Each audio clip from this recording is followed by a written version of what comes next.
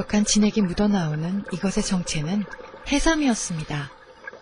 일본에서는 바다쥐라는 뜻의 나마코라고 부르는데요.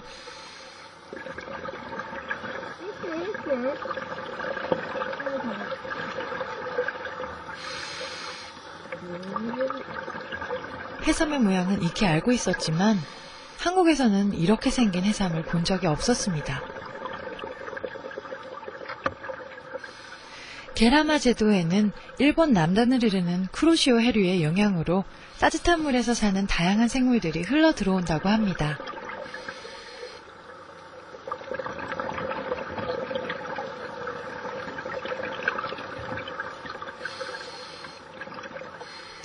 모래 바닥 사이로 또 이상한 것을 발견했습니다.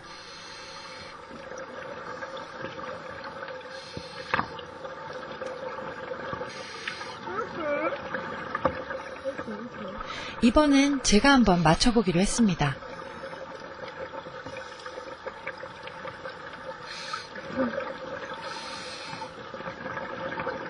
아니라고 하는데요.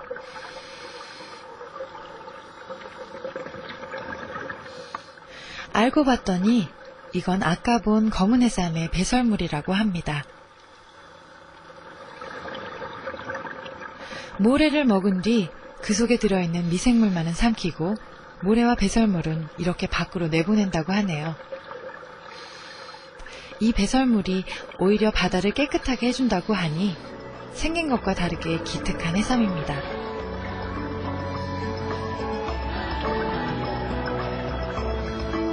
그렇게 한참을 인어공주가 된 듯 내 집 같은 바닷속을 다녔습니다.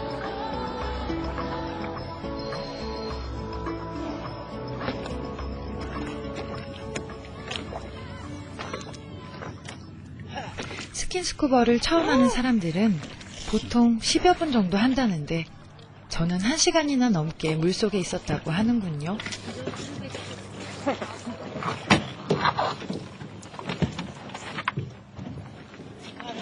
제 첫 번째 바닷속 여행은 이렇게 성공적으로 끝났습니다. 여기와 나가누지마니 이기마. 아노시마다.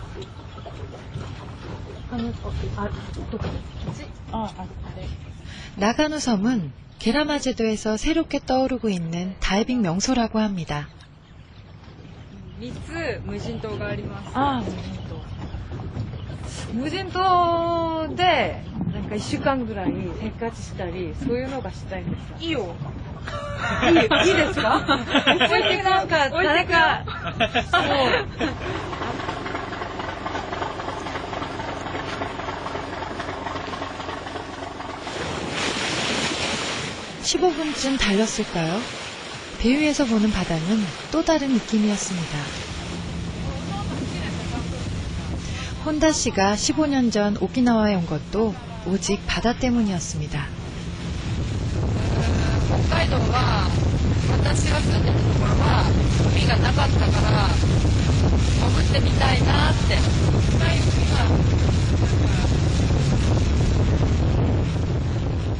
누구라도 이 바다를 만나고 나면 혼다 씨의 마음을 이해할 수 있을 텐데요.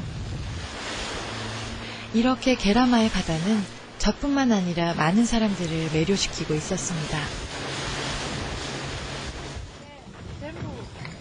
나가는 섬에 도착하니 좀 전에 흥분이 되살아났습니다.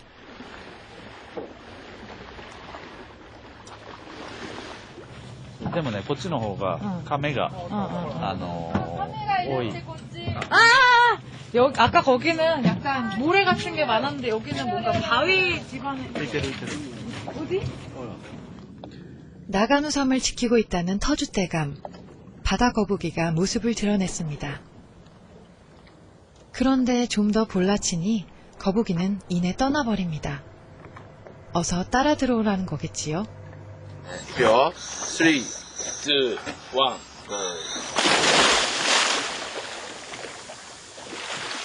Okay, Look at me. Perfect. No one knew where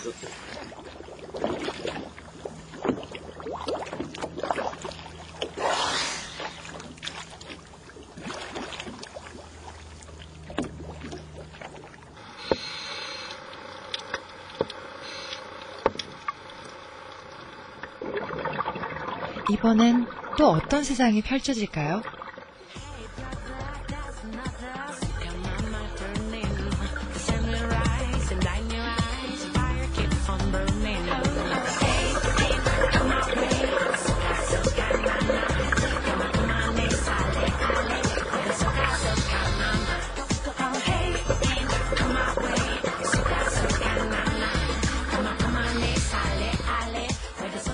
저를 반겨준 건 푸른 바닷속에서 더 푸른 빛을 자랑하는 물고기들이었습니다.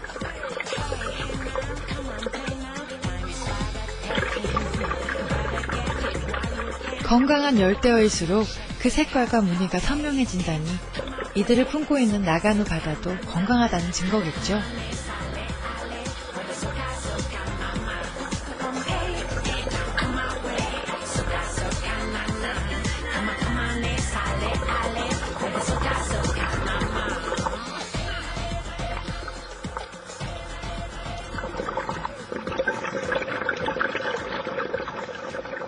드디어 이곳의 터줏대감을 만났습니다. 좀 전에 제가 봤던 그 거북일까요? 절 기다리기라도 한 듯 거북이는 서서히 움직였습니다.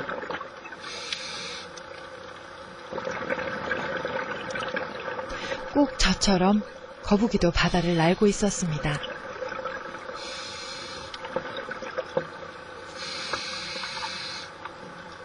그렇게 푸른 바다를 나는 거북이는 도망을 가지도 또 쉽게 제 손을 허락하지도 않았습니다. 멀지도 가깝지도 않은 그 자리에서 저를 이끌었습니다. 목적지에 도착했나 보네요.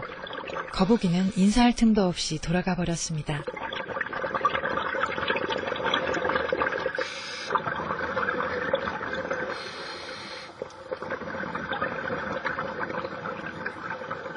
거북이가 안내해 준 곳은 커다란 바위들이 모여 있는 곳이었습니다.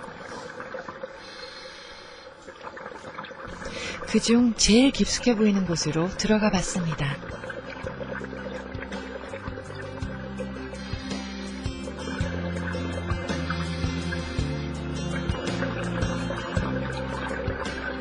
좁은 틈을 지나자 새로운 공간이 펼쳐졌습니다.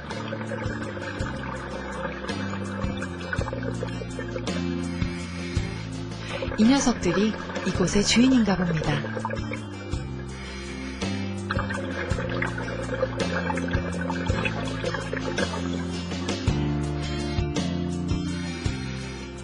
겁이 많은 바닷가재는 잽싸게 몸을 숨겼지만 화정 보고에게 우린 그저 같은 공간을 공유하는 물고기처럼 느껴질지도 모르지요.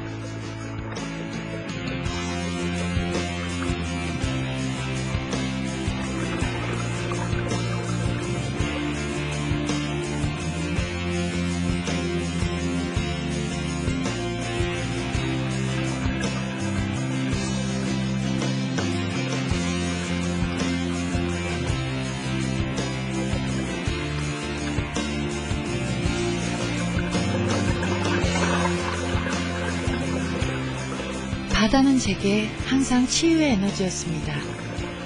음악을 하다가 힘든 일이 있을 때 찾게 되는 곳도 바다였죠.